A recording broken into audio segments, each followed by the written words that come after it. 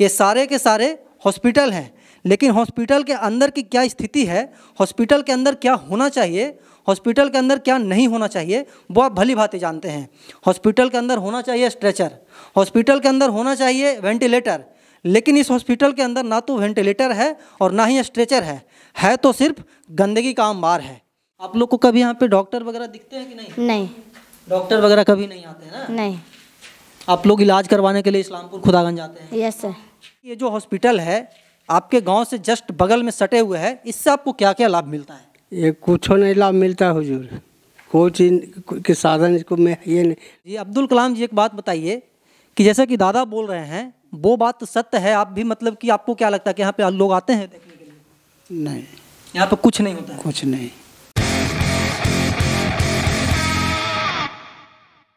नमस्कार मैं अमित चौरसिया और आप देख रहे हैं नालंदा दस्तक। अभी हम मौजूद हैं नीतीश कुमार के गृह जिला, इस्लामपुर विधानसभा क्षेत्र के मीना बाज़ार गाँव के प्राथमिक स्वास्थ्य उप केंद्र में। और ये इस्लामपुर का सबसे मतलब कि जिसको बोल सकते हैं कि सबसे लास्ट पोजीशन है। अगर थोड़ा सा आप आगे चले जाइएगा तो फिर वो अतरी विधानसभा क्षेत्र आ जाता है और अगर उधर जाइएगा तो फिर राजगीर विधानसभा क्षेत्र आ जाता है। और ये उप स्वास्थ्य केंद्र है। यहाँ के लोगों को यहाँ के जो मतलब कि आम जन हैं, उनको इस उप स्वास्थ्य केंद्र से कितना लाभ मिलता है? यहाँ पे नर्स आते हैं, यहाँ पे डॉक्टर आते हैं कि नहीं आते हैं? वो हम आपको बताएँगे, उसके साथ साथ दिखाएँगे कि ये जो स्वास्थ्य उप केंद्र है, इसका स्थिति क्या है? इसका परिस्थिति क्या है? आप देख करके अंदाज़ा लगा सकते होंगे कि बगल से ये सड़क गई है और सड़क के बगल में मतलब कि ऐसा बताया जाता है कि जो भी बड़े बड़े सरकारी संस्था होते हैं, वो सड़क के बगल में होते हैं। और जो हॉस्पिटल है, ये भी सड़क के बगल में ही है।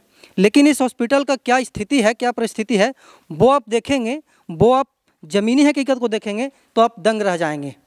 अभी हम प्रवेश किए हैं उस उप स्वास्थ्य केंद्र के अंदर, और ये उप स्वास्थ्य केंद्र, अब हम एक बार और हम आपको बताते हैं कि मौलना चक गाँव बगल में है, और बगल में मीना बाज़ार है, और बगल में बौरी है, ये सब गाँव यहाँ पे आते हैं मतलब कि आस पड़ोस के। और ये सब जितना भी मतलब कि फर्श पे इतना गंदगी है इतना क्या बोलते हैं कि, क्या बोलते हैं इसको कि गंदगी है, इतना घास भूसा है और इसका जो स्ट्रक्चर है, कितना मतलब कि गंदा हो चुका है और यहाँ के जो मतलब कि जो भी प्रभारी हैं, जो भी चिकित्सा प्रभारी हैं, वो चैन का नींद ले रहे हैं और ये गेट है और ये खिड़की है, अनवारी है, जो भी है वो आपके सामने कुछ बताने की ज़रूरत नहीं है। ये नीतीश कुमार का गृह जिला है और नीतीश कुमार के गृह ज़िले में ऐसे ऐसे अजूबे आपको हर जगह बहुत आसानी से देखने को मिल जाएँगे। कुछ ऐसे जगह हैं जहाँ पे विकास हुआ है, इसमें किसी भी प्रकार का किंतु परंतु नहीं है। ये सारे के सारे हॉस्पिटल हैं, लेकिन हॉस्पिटल के अंदर की क्या स्थिति है, हॉस्पिटल के अंदर क्या होना चाहिए, हॉस्पिटल के अंदर क्या नहीं होना चाहिए, वो आप भली भांति जानते हैं। हॉस्पिटल के अंदर होना चाहिए स्ट्रेचर, हॉस्पिटल के अंदर होना चाहिए वेंटिलेटर, लेकिन इस हॉस्पिटल के अंदर ना तो वेंटिलेटर है और ना ही स्ट्रेचर है। है तो सिर्फ़ गंदगी का अंबार है। यहाँ पे ग्रामीण हैं कुछ इसी गाँव के हैं क्या बोलते हैं कि मोलनाचक गाँव के निवासी हैं। हम इनसे बात करेंगे कि आखिरकार यहाँ पे नर्स जो हैं वो डॉक्टर जो हैं वो आते हैं या नहीं आते हैं क्या मतलब की परिस्थिति है इसका मौजूदा स्थिति क्या है मौजूदा परिस्थिति क्या है इससे हम आपको बातचीत करवाएँगे। सबसे पहले बताइएगा दादा कि आपका नाम क्या होगा नाम हुआ सरफुद्दीन। दादा एक बात बताइए कि ये जो हॉस्पिटल है आपके गाँव से जस्ट बगल में सटे हुए है इससे आपको क्या क्या लाभ मिलता है? ये कुछ नहीं लाभ मिलता हुजूर। कोई चीज़ के साधन इसको में ये नहीं जब से बना, जब से ना डॉक्टर आया है, ना इसमें कोई नर्स आया है आता इसी खाली खड़ा के खड़ा नहीं चाहिए है।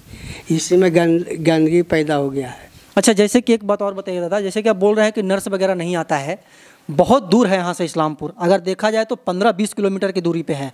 आप लोग को अगर मान लिया जाए कि तबीयत खराब हो जाए, भगवान ना करे कि तबीयत खराब हो जाए, अगर खराब हो जाता है तो आप ट्रीटमेंट कहाँ पे करवाते फिर इस्लामपुर हम लोग को ले ले जाने पड़ता है।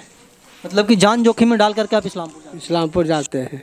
बीच में कभी कभी अनहोनी घटनाएँ भी हो जाती होगी। तो इस्लामपुर से हम लोग इलाज कराते हैं। यहाँ पे मतलब कि सुविधा नहीं आपको मिलता है? सुविधा कुछ एक कुछ मिल भी नहीं करता पूरा जैसे कि होता है ना कि कुछ टैबलेट्स वगैरह हो गया दवाई वगैरह हो गया इंजेक्शन वगैरह हो गया कुछ नहीं। नहीं। आप भी इसी गाँव के नाम निवासी हैं दादा क्या नाम हुआ आपका? मेरा नाम अब्दुल कलाम है। अब्दुल कलाम जी अब्दुल कलाम जी एक बात बताइए कि जैसा कि दादा बोल रहे हैं वो बात तो सत्य है आप भी मतलब कि आपको क्या लगता है कि यहाँ पे लोग आते हैं देखने के लिए? नहीं। यहाँ पे कुछ नहीं होता है। कुछ नहीं। देखिए दो लोग थे दो बच्चे हैं वो बगल में स्कूल है वहाँ पे पढ़ाई करते होंगे। और ये जो हॉस्पिटल का स्थिति है परिस्थिति है वो आप देख ही लिए होंगे बताने की कोई ज़रूरत नहीं है। गंदगी का ऐसा अंबार है जैसे कि मानो कि यहाँ पे मतलब कि कूड़ेदान बना दिया गया हो इस हॉस्पिटल को। यहाँ पे एक चापाकल है और चापाकल का भी मतलब कि इसका हेड किधर है और इसका हैंड किधर है, वो आपको पता नहीं चलेगा। हालाँकि कुछ असामाजिक तत्व इसको तोड़ने की भी कोशिश किए हैं। जैसे कि देख सकते हैं, नट मतलब कि टेढ़ा हुआ हुआ है और ये दूसरा, क्या बोलते हैं कि दूसरा बिल्डिंग है और इस बिल्डिंग का भी वही हाल है, जो उस बिल्डिंग का हाल था। यहाँ पे शौचालय है और शौचालय के अंदर का दृश्य दिखाइएगा गौतम जी। और ये मतलब कि क्या है, किचन है, क्या है आई डोंट नो लेकिन ऐसा प्रतीत होता है कि किचन है। और हॉस्पिटल में किचन का क्या काम होता है, वो तो आप ही खुद अंदाज़ा लगा ही लीजिए। देखिए काला काला सब हो गया, ऐसा प्रतीत होता है कि यहाँ पे खाना बनता था पहले। और जो भी है, ईट, पत्थर मतलब कि जो हॉस्पिटल में होना चाहिए, उसका एक भी अंश यहाँ पे आपको नहीं मिलेगा। और जो भी यहाँ के मतलब कि प्रभारी हैं, जो यहाँ के चिकित्सा प्रभारी हैं जो यहाँ के मतलब कि इस हॉस्पिटल को जो संचालित करते हैं, वो कौन है? उनका किसी भी प्रकार का कोई नामो निशान दूर दूर तक तो यहाँ पे नहीं है। ये जो बंजर एक तरह से बोलते हैं, उसको कि बंजर हो हो चुका है और उस बंजर का शिकार, उस बंजर का शिकार पूरे मतलब कि यहाँ के ग्रामीण होते हैं, पूरे मतलब कि यहाँ के क्षेत्र के लोग होते हैं। एक बच्चा है, क्या बता रहे हो छोटू? अंदर घुसा हुआ बाथरूम का। क्या? उसका वो अंदर घुसा हुआ बाथरूम का। अच्छा वॉशरूम का जो मतलब कि सीट होता है वो अंदर घुसा हुआ हाँ? आप लोग को कभी यहाँ पे डॉक्टर वगैरह दिखते हैं कि नहीं? नहीं। डॉक्टर वगैरह कभी नहीं आते हैं ना? नहीं। आप लोग इलाज करवाने के लिए इस्लामपुर खुदागंज जाते हैं? यस सर प्रॉब्लम भी होता होगा। पढ़ाई करते हैं आप लोग? हाँ गाँव में नहीं शहर में करते हैं। अच्छा शहर में आप लोग प्राइवेट स्कूल में पढ़ते हैं? मतलब कि रियलिटी यही है छोटू कि यहाँ पे कोई आते नहीं नहीं आता है। कोई नहीं आता, देखिए बच्चा बता रहा था कि जो वॉशरूम का सीट है, वो अंदर चला गया है। और वो अंदर जाएगा ही, स्वाभाविक सी बात है कि जब यहाँ पे कोई आएगा नहीं तो इस जो मतलब कि हॉस्पिटल है, ये बंजर ही बनेगा और बंजर बन चुका है। वो आप देख करके मतलब कि प्रतीत कर लिए होंगे। एक बार हम बाहर से आपको दृश्य दिखाते हैं कि मतलब कि कैसा इसका स्ट्रक्चर है। ऐसा प्रतीत होता है कि बहुत मतलब कि मतलब कि बहुत पुराने ज़माने का हॉस्पिटल है। ऊपर मतलब कि आपको छज देखिएगा तो उसमें जो रूप होता है, वो मतलब कि ढलैया जिसको बोलते हैं कि वो ढलैया नहीं है वो स्लो मतलब कि क्या बोलते हैं खपड़ाइल टाइप का है और बहुत पुराना है। कब बना था दादा? कोई आइडिया है आपको? ये हॉस्पिटल कब बना था? बहुत रोज हो गया इसको बाबू। मतलब कि आपके याद से पहले का है का ना पहले से ना इधर ही बना बाकी आपको उतना इस- ना सोचता कि बना है बाद में मतलब बहुत पुराना है पुराना पुराना ही है। लेकिन यहाँ पे अभी तक कोई आते नहीं। आते नहीं और इसी को उसी पड़ा हुआ है अभी तक। लेकिन आप लोग आप लोग यहाँ के बड़े पदाधिकारी हैं स्वास्थ्य पदाधिकारी हैं उनको क्या कहना चाहेंगे? तो जैसे वो आके देखे अपना रहे अब ड्यूटी करेगा ना बाबू? वो कहीं ना कहीं मोटे रकम ले रहे होंगे सरकार? हाँ सरकार से तो लिए रहा है। लेकिन आप लोग को सुविधा नहीं? सुविधा नहीं मिलता इस जगह। देखिए अभी ये जो प्राथमिक क्या बोलते हैं कि स्वास्थ्य उप केंद्र है मीना बाज़ार का उसका हम रियलिटी दिखाए उसका हम ग्राउंड ज़ीरो से रिपोर्ट दिखाए और आपको मतलब कि प्रतीत हो गया होगा कि क्या स्थिति है।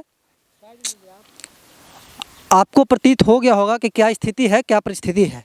यहाँ के जो बड़े मतलब कि स्वास्थ्य महकमे हैं, उनके कान के ऊपर जू तक नहीं रेंग रही है कि यहाँ के जो ग्रामीण हैं, यहाँ के जो मतलब कि आवाम है वो कहाँ पे ट्रीटमेंट करवाते होंगे? जैसा कि मैंने दो दादा से बात किया तो उनका कहना था कि यहाँ पे किसी भी प्रकार के मतलब कि जो नर्स होते हैं, जो डॉक्टर होते हैं, जो मतलब कि कंपाउंडर होते हैं, वो यहाँ पे नहीं आते। इनको अगर एक गोली की भी ज़रूरत पड़े तो इनको सरकारी अस्पताल इस्लामपुर जाना पड़ता है, जो कि यहाँ से 25 किलोमीटर की दूरी पे है।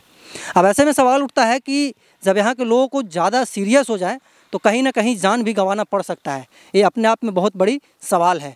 और सवाल ही नहीं है, चिंता का विषय है कि जब यहाँ के लोगों को ज़रूरत पड़ेगा तो वो डॉक्टर के तलाश में उनका जीवन चला जाएगा।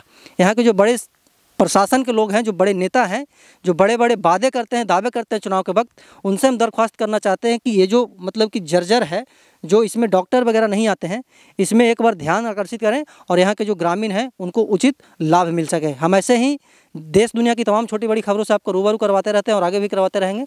तब तक के लिए बने रहे हमारे साथ और देखते रहें नालंदा दस्तक। धन्यवाद।